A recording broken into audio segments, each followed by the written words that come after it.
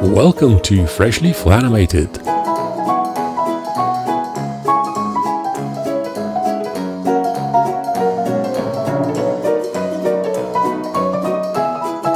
Question about foreshortening in Flash animation and specifically in the context of smart magnet rigs has popped up multiple times, regardless of the fact that we've uh, discussed it multiple times in uh, various articles on our website and in uh, many videos we've shown how to add variations of limbs obviously facial features and so on and there are no differences between these but uh, because it still seems to be somehow a gray area, it uh, is probably worthwhile dedicating a special video to this. It will only be a short video, but uh, let me just point you to the places where foreshortening is mentioned on our website. So the classic tween workflow article, which is more than 10 years old now, mentions foreshortening three times obviously in the areas where we discuss how to rig limbs, the invisible force mentions foreshortening in the context of tweening magnet targets and there is a video that uh, specifically demonstrates these uh, processes. And then uh, again in the rig architecture article foreshortening is mentioned in the context of limbs. And here again we see examples. Now, what is foreshortening? It is the perspective changes of length when objects are pointing towards the eye or toward the camera. If we take this lower arm here as an example, this appears with its full length because it is uh, parallel to the plane of vision, while this lower arm points somehow towards us and it appears to be shorter. In uh, these other cases, this lower arm points toward us and is foreshortened, while this one is not. Let's look at some other examples here. This leg here is not foreshortened, while this one pointing toward the camera, the thigh, is foreshortened and appears much uh, much shorter. It applies to this lower leg here as well. I'll zoom in onto these robots to see better. So how is this achieved? Let's look at a simple example first. Here we have uh, our little uh, test robot and I've set up just a very very simple example which goes like this. So the arms and the upper leg go foreshortened as they are animated. Now let's double click and look at what's uh, inside this upper leg symbol.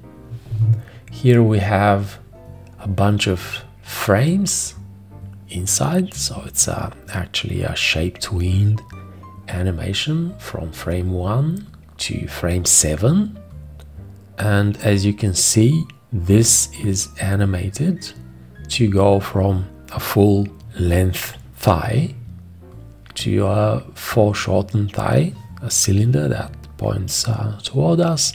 This can be played in sync with the animation on the external timeline and the result is this the same thing is done for the lower arms here. We have this animation achieved with shape tweens and the arm appears as if it's pointing towards us uh, by revealing the side that was uh, initially facing away from us. And again, this animation is played in sync with the animation on the external timeline. Another important thing to note is that uh, when we foreshorten a limb, if we pay attention to this magnet target, it has been tweened so that uh, the location of the magnet target always uh, coincides with the point where we would like the next element in the rig to snap. So this will allow for proper cleaning up or if we need to choose a specific frame we can always refer to this frame and the snapping will occur exactly as we would like it. So if we refer to frame 5 in this frame here, so let me just dial back and choose a, a different frame. So this is first frame and this is an in-between frame and press the smart magnet joint uh, shortcut button you'll see that the next element in the chain snaps exactly where we want it to snap. Now let's look at uh, this robot and what's uh, inside his arms and legs. Here is the upper arm and we have a full range of frames. These ones are supposed to face away from us and these ones are supposed to face toward us. The same thing applies to the lower arm facing toward us and facing away from us. So on the outside we can choose any of these frames and we can come up with uh, various poses as I will show you right now. For this part I would like to foreshorten this. I'll choose one of these so a couple of frames further and now I can snap and I can choose a different hand.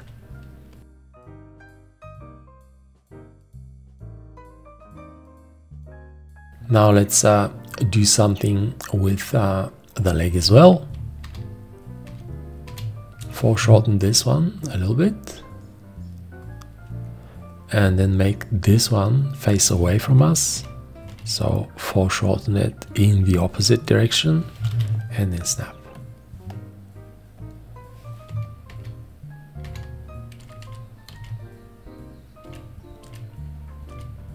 And choose a foot that matches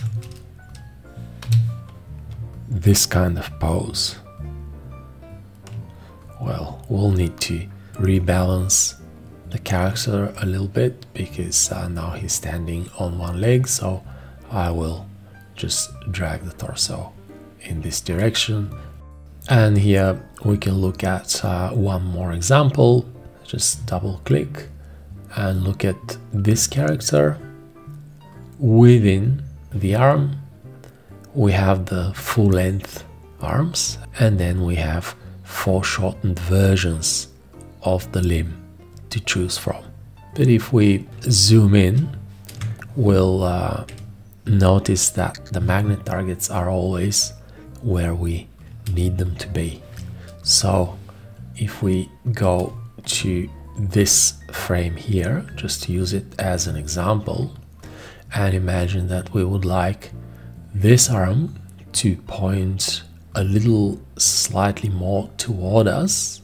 Let me just create another keyframe here we can choose a foreshortened frame for this. Let's uh, choose this frame. This, this is the difference, right? And then we can snap the hand. Or if we like, we can choose a different version of the hand. Maybe this one. And we can pose slightly um, differently, of course. You can see the difference between the more foreshortened and the non-foreshortened version. So if this is combined with the pose change and of course the in-betweens, shall I do a little bit of something here? Maybe. Just a little change in the angles and there you go.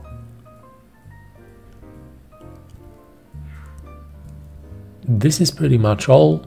I will include a section from an older video where I show exactly how tweens can be done for the uh, magnet targets, but uh, the principles of adding frames for foreshortened limbs should be very clear. There is no difference between adding variations for a hand, for example, like we have a bunch of hands here.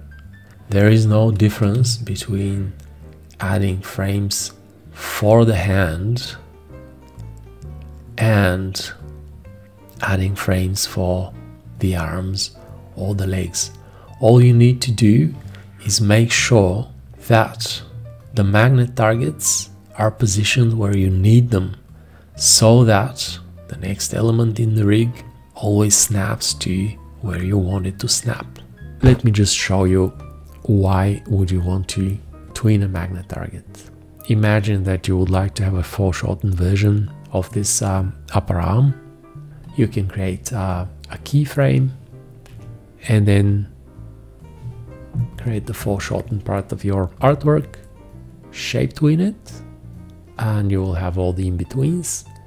And then with the magnet target, all you need to do is just position it where it should be and classic tween the magnet target. So now all those in-between states are also covered because the magnet target matches the artwork, right? If we go outside and create a, a just a temporary keyframe and pose with Kineflex, let's just uh, come up with some pose and then choose a foreshortened version of this limb. If we try to chain select and snap, the lower arm will snap because again, at this frame, which we are seeing, the magnet target is positioned where we want it to be positioned. Snapping works as long as the magnet targets are where they should be.